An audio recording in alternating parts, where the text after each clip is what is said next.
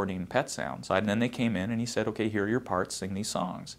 And uh, it was a huge departure for them. And there was a lot of uh, controversy within the group and within the family about the, the, the, turn that Brian, the creative turn that Brian had made.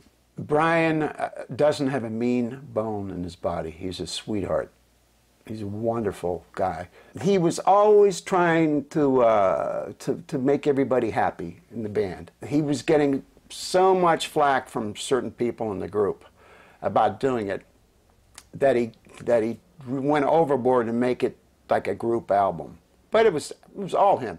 It was, it was a, basically a solo album. And I, I would think if you asked uh, the guys in the group, reluctantly, they might say, yeah. And I think there was also some fear that, you know, he was getting farther and farther away from the band. And as a result, he was going to leave the band and do his own thing, at which point everyone's sweet living, this whole family industry was going to fall apart because Brian was going to say, you know, screw you guys, I'm going to do my own industry. So the fact that he ended up releasing Caroline No as a solo single was like a shot across the bow and kind of made him freak out a little bit, more than a little bit. Given the distance that he's traveled from the traditional uh, settings and narratives of Beach Boy songs, that I think probably they began to put two and two together and think that uh, this was not moving in a direction they wanted to go. Indeed, on returning from tour to be presented with the Pet Sounds instrumentals, some in the band expressed reticence over the sound of the material, with Mike Love cautioning Brian not to carry the Beach Boys too far from the tried and tested. Yeah, don't fuck with the formula was really, he said that straight up. Tony Asher attests to that, um, having heard it. Uh, and But there was, but Mike was by no means the only one who didn't want, you know, who felt, you know, like the record was not the record that they needed to make at that time. The brothers were bitching and moaning too. They didn't like how complex the arrangements were. They didn't like the fact that Brian was, was listening to them so closely and would brook no bum notes at all. I don't really think that that's true about the band. I, I think the band, uh, they trusted Brian and he made great tracks. I think we were more of one mind than you would think.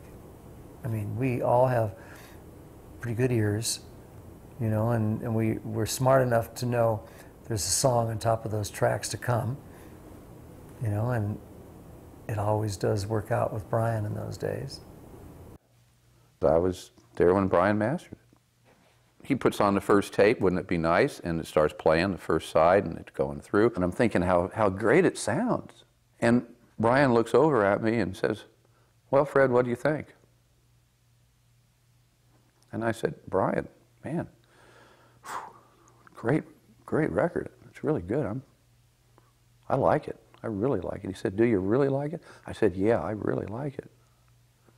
And then he, then he asked me the, the tell-all question. He said, what do you think the guys will think? Meaning, what do you think the other Beach Boys will think? And I said, you know, I don't know, Bry, but I'm proud of you. It's a great record. I don't know what they think, but I think it's a great record. I think you did a great job. And he says, man, I sure hope they like it. Well, as we know, a couple of them didn't. Capitol didn't. With Capitol Records showing little enthusiasm for the sonic invention of Pet Sounds, the record became the lowest selling Beach Boys release in years. While Brian became discouraged by the muted response to his grand artistic statement, the label delivered the ultimate slap in the face. Just weeks after the release of Pet Sounds, they issued the Best of the Beach Boys compilation, surf music and all. Capitol was a little confused by Pet Sounds, uh, you know, and, and they were kind of thinking, uh, okay, wow, Brian, nice work. Uh, get volume one, Best of the Beach Boys ready, everybody, marketing staff. Yeah, we'll look for some singles. You know, they were just getting ready to write the band off, I think. You know, he was working within the context of the, the music industry, and the music industry that was just beginning to feel uh, its possibilities for major sums of money. And so they were not interested in the, the Beach Boys, of all people, breaking new ground. I mean, they saw the Beach Boys as hit makers, like go make hits. You know, a song called, you know, Hang On to Your Ego, that's not going to wash. And, and in many ways, you know, Mike Love probably agreed with the critique. These, you know, complicated, strange, uh, very beautiful, but not necessarily uh, contained songs. I mean, they didn't really provide Mike Love with much of a platform. And, you know, there you have the origins of difficulties that went on for decades after that. You know, that was the moment. You know, I mean, Pet Sounds was the moment.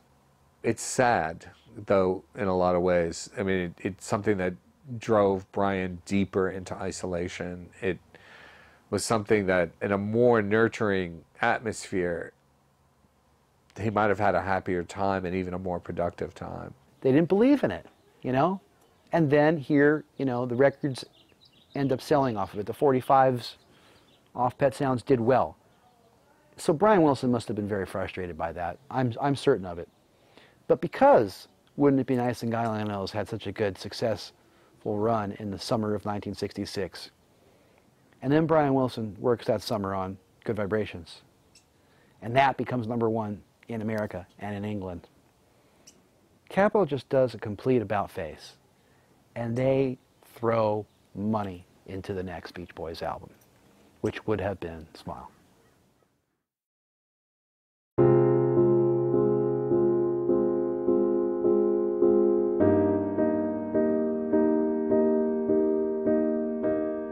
Project that would eventually become known as Smile started life during the lengthy gestation of Good Vibrations that ran throughout 1966. Initial recordings for Good Vibrations had taken place as part of the Pet Sound sessions, but the song had taken on a life and logic of its own, with Brian moving between studios to rework the material. While Pet Sounds had come and gone, he was still tortuously fashioning a final version of the track and running up a ballooning studio bill in the process. I got my info from Carl, and he would just give us little progress reports, you know, and Brian would just, like a great filmmaker, you know, shoots a scene several different ways, edit it several different ways, and, and I'm just going to guess Brian wasn't ready. He probably wasn't thinking, well, we need this to drive the marketing of Pet Sounds. I don't think he was thinking of it that way. I think he was totally in pure, wonderful, once in a lifetime artist mode, and, and it just didn't make the cut. We did many, many sessions, not as many nearly as some of the other people have stated. But it was true that we, you know, he'd call me and he'd say, Can you get the crew in? We're going to work at five o'clock or something like that. Said, you know, and nobody wanted to miss that. So whatever we were doing, we were there at five o'clock. And we would sit down and Brian would play something at the piano. And then he'd say, Forget it, I'm out of here. And he'd leave. So we worked for 15 minutes, if that. We wondered at the time, I said, gee, sure is spending a lot of time, but we knew it was a hit. Uh, he, he was trying to achieve something righteous and something artistic with something pretty simple. It, it was simple. The simpler tunes are the, are the toughest ones to, to make into a hit record. Pet Sounds, yes, great, wonderful.